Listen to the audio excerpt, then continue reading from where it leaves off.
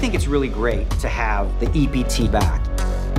It's really changed the landscape of what, you know, poker really is. I'll fight for the crown. I want it now. I thought it was something special from the very first one that we played. Mine. Winning was magical for me, and that changed my world. First player to win two main event titles.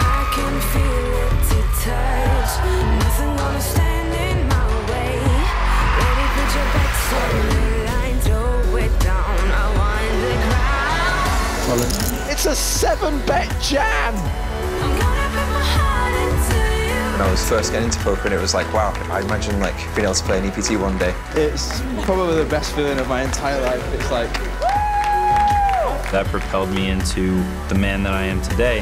Move with me. I'll show you how. Floor is yours. Reach out to the crowd. it's an eight on the river. It's quads fire wire. playing from that big stage. Oh, of course, it's my best memory. Just nothing could compare.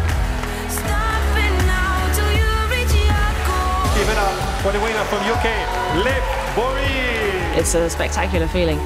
It's just a ball of energy. Reach out to the crowd. he smiled, that's what he's got. Go, baby. Take You know, it's really not an impossible dream.